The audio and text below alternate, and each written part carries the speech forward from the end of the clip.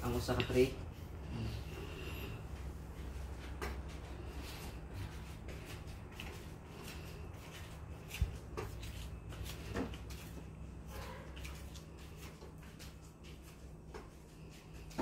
Sa sunod, siya yan na nanay poultry.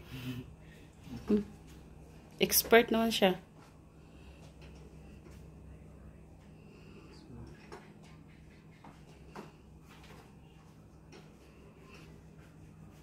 Murag daghag small karon yan.